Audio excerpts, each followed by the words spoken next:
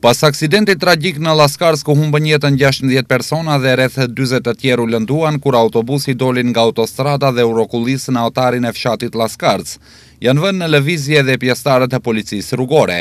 Deri në këtë periudhë, kontrollet ndaj autobuseve ishin shumë të rralla në këto hapësira, gati se dy javë pas këtij aksidenti, Një sërë kontrollesh realizohen në Tetovë dhe Gostivar, ndaj automjeteve që kryejnë transport publik, sidomos autobusëve, por nuk janë përjashtuar edhe minibusët, kombifurgonat e kështu me radhë.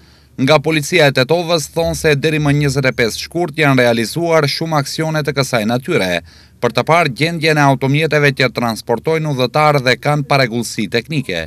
Kjo bëhet vetëm për një qëllim, që të mundësohet qytetarëve siguri më e madhe në trafikun rrugor. Gjithashtu, edhe për vetë pjesëmarrësit, për vetë pjesëmarrësit në trafikun rrugor dhe pjesëmarrësit në transportin publik, pra të njëjtit të jenë si vetë të sigurt, po ashtu edhe udhëtarët që transportohen me ato mjete transportuese. Pra, qëllim kryesor është që automjetet në fjalë të kenë të sigurta pajisjet e frenimit, pajisjet e drejtimit të automjetit dhe pajisjet e ndriçimit. gjë që sjell deri te numri më të madh të aksidenteve në rajonin e Tetovës dhe Gostivarit. Pra në përgjithësi, sektori për punë të brendshme Tetovë, të përmendim stacioni për siguri në trafikun rrugor, në vazhdimësi çdo ditë organizon kontrolla të kontrolla të përforcuara, të gjithashtu edhe matjen e shpejtësisë me anë të radarit.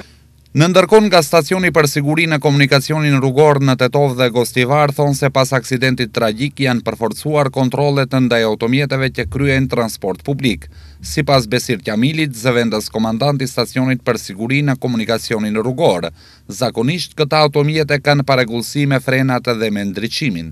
Mbas aksidentit kohën e fundit që ndodhi me trembet shkurt në Llaskarcë, ne masat dhe aktivitetet i kemi shtu në këtë aspekt dhe kemi organizu kontroll në stacionet teknike, kontroll teknik të gjitha veturave që mirret me transportin publik. Domethonë, me njëzet e një shkurtin, stacioni për për siguri në komunikacion ka marrë masa dhe aktivitete në këtë aspekt, kemi bo aksion, ku është bërë kontrolli teknik i këtyre veturave që mirren me transport publik.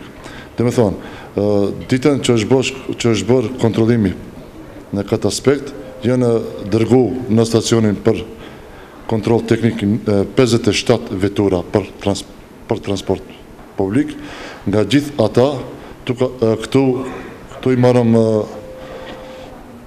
i përmendim autobuzat, minibuzat dhe furgona domethënë. Te veturat për transport publik nuk kemi hasur vozitës me leje jo adekuate ose pa leje qarkullim. Nuk kemi hasur. Kemi hasur gabime domethënë siç ceka më lart gabime në aspektin teknik në pajisjet për frenim. Domethënë kontrollimi i fundit hasëm dy autobuza të tillë dhe normalisht i çkyçëm nga komunikacioni dhe morëm masa adekuate. Nga gjithsej njëqind e dyzet e dy automjete të kontrolluara tek tridhjetë automjete janë konstatuar parregullsi teknike në pajisjet e frenimit, si dhe pajisjeve tjera për drejtimin e automjetit dhe pajisjet e ndriçimit të rrugës. Automjetet e këtilla menjëherë janë larguar nga trafiku, kurse shoferëve dhe personave juridikë menjëherë u janë përgatitur fletëpagesat e parapara ligjore.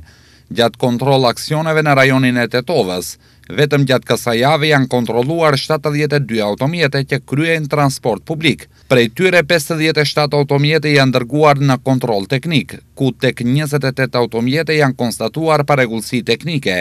Edhe atë, gjashtëmbëdhjetë automjete kanë qenë të parregullta në pajisjet e frenimit, dy automjete me parregullsi të tjera, Dy vetura kanë qenë me regjistrim të skaduar, pesë automjete nuk kanë pasur të kryer kontroll teknik gjashtëmujor.